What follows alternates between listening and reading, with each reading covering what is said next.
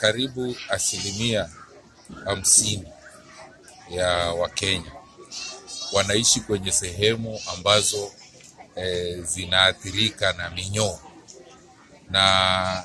utapata kwamba watu wote ambao wanaishi kwenye hizi sehemu wako katika hatari ya kuweza kuambukizwa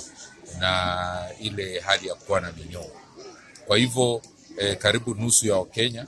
e, wana hii hali ya kuwa na minyoo, na hiyo ni idadi kubwa sana,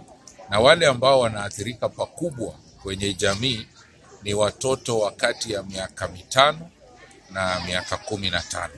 na sana sana utapata kwamba hawa ndio watoto ambao e, wanaenda kwenye shule za msingi, yani tunaita kwa kimombo school age children. Sasa hawa school age children ingawaje wana au wana, wana, wanatengeneza idadi ya karibu asilimia ishirini na nane ya total population, utapata kwamba ile disease burden ni karibu 70% inapatikana eh, zaidi ya asilimia sabini iko kwenye hawa watoto wa kati ya miaka mitano na miaka kumi na tano.